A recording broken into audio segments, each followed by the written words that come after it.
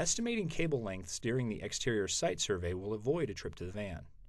To do this, use either a tape measure or your wingspan. When you're measuring cable at the back of the van later, you'll know where to cut.